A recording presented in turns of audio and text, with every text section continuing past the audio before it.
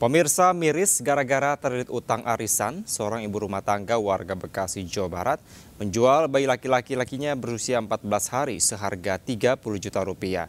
Sementara itu di Palembang pemirsa, seorang suami lapor polisi karena menghilang padahal baru 10 hari menikah.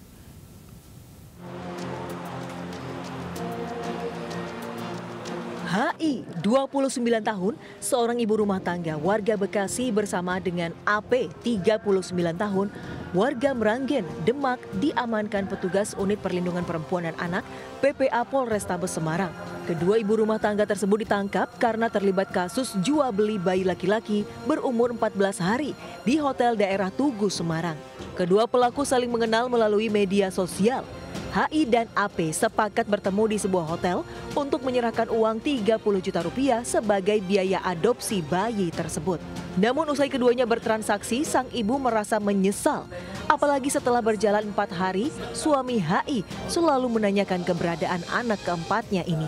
HI dan suaminya pun berangkat ke Semarang untuk mencari anaknya. Namun AP sulit dihubungi. Keduanya lalu meminta bantuan Polrestabes Semarang. AP berminat mengadopsi bayi karena kasihan dan belum memiliki anak. Polisi telah menyita uang sisa penjualan bayi 5 juta rupiah, akte kelahiran, telepon selular, dan bukti transfer. Dari Semarang, Jawa Tengah, Kristadi, iNews melaporkan.